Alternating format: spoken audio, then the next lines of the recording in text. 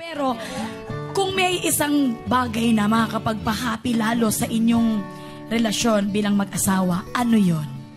Then, na- na-catch nyo kami kasi at a time sa life namin. Ito, itong season lang na to, kasi kagaling din namin from vacation, ganyan. We, nagulat lang kami na parang, we're really happy where we are now. Parang ang dami pa naming gustong i-achieve, gustong magkaroon. There's so many things that we can have pa. And so many things na iwo-work pa namin.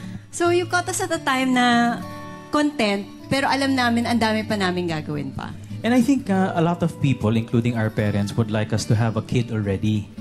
Ah, kaya lang kami, ah, gusto rin namin. Pero hindi kami nagpapapressure. Marami nagme-message sa amin na private message na nape-pressure na ako kasi pinipressure ako ng parents ko magkaanak, magkaanak, magkaanak.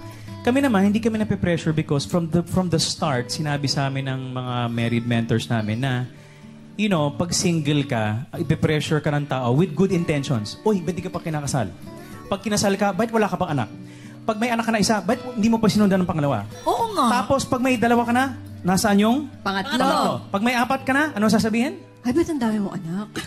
So, we realized panglima, na hindi kami pwede magpa-pressure sa ibang tao because wala rin naman eh. Di ba? Hindi naman yun yung focal point eh. So, ano lang kami, if it comes, if the child comes, we're very, very happy. Ready na kami.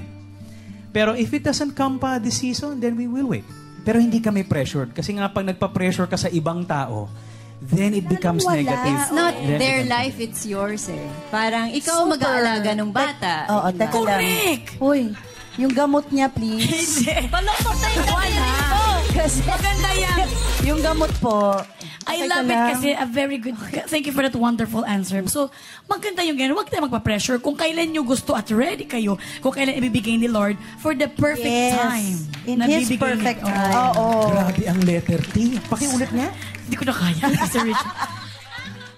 For more magandang buhay videos, just click the I button and don't forget to subscribe.